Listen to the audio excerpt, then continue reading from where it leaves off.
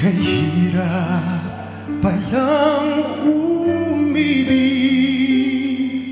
Sa di tamang panahon Kung bakit ngayon ko lang natagpuan Ang isang